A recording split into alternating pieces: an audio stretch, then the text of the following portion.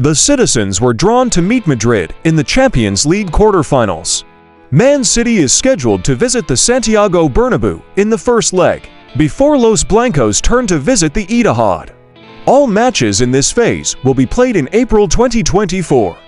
This will be the third consecutive duel between the two teams in the last three seasons.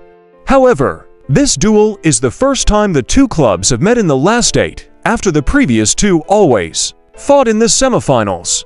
Real Madrid successfully eliminated Man City with an aggregate of 6-5 in 2021-A22. The following season, the Sky Blue emerged victorious after winning 5-1 on aggregate, thanks to a landslide for 2-0 victory in Manchester in the second leg.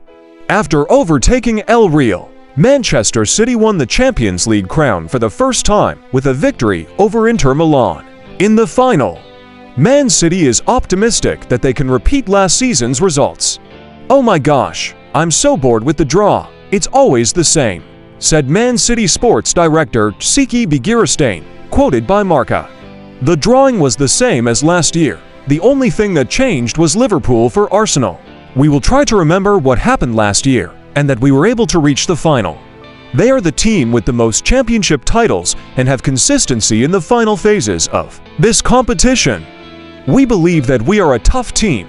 We had a great Champions League. And we have a good series, and this is the trend, said Begiristain after Man City was drawn with Real Madrid in the quarterfinals.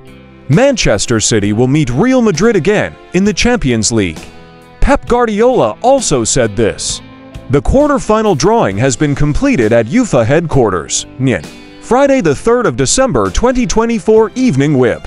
Man City met Real Madrid in this phase. This is the third time in a row that the two teams have met each other in the Champions League.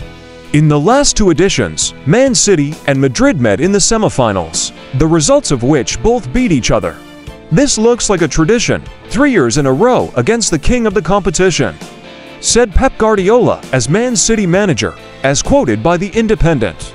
Hopefully, we can arrive at a good moment, but there are still a few weeks before the first match in Madrid, he continued.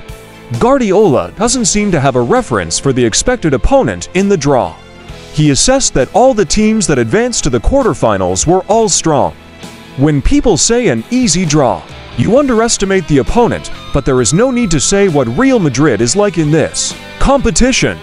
When you play the last stages, you play against the best teams in Europe, and Real Madrid are completely up there. Guardiola explained. But all the opponents are very tough. Everyone knows that.